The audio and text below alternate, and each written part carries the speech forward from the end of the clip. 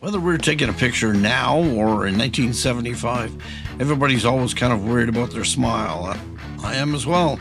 So I got two examples here how to use curves to give you those pearly whites. Let's go. All right, here's a lovely picture of me after I stepped on a Lego block. So the first thing we'll do, we'll make a copy of the background layer so we can check back and forth later. Now hit your Z key to zoom in on the mouth. Now hit your B key for brush and then your Q key for your quick mask so you can color in the teeth. Quickly do that.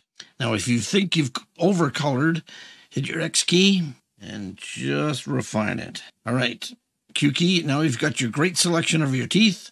Go down to the adjustment layers and hit curves. Now invert the layer. Control I.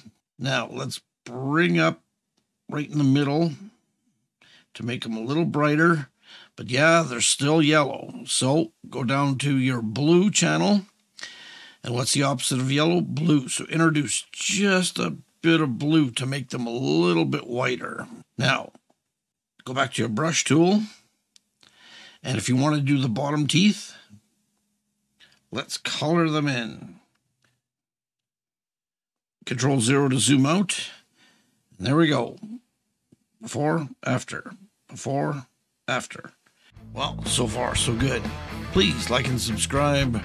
Ring my bell for future videos. It's free, and it really does help. Thanks. Okay, for my second example here, whether the picture was taken in the last week or 1975, let's copy the layer, Z key to zoom in, hit your B key for brush, and then your Q for your quick mask to make the selection. Color it in, it'll make it an accurate selection that otherwise might not happen. Hit your Q key. Now, let's go again to curves. Invert the layer, hit your cursor right in the middle, and just bring up the brightness just a bit. Again, the teeth are still a little bit yellow for your liking.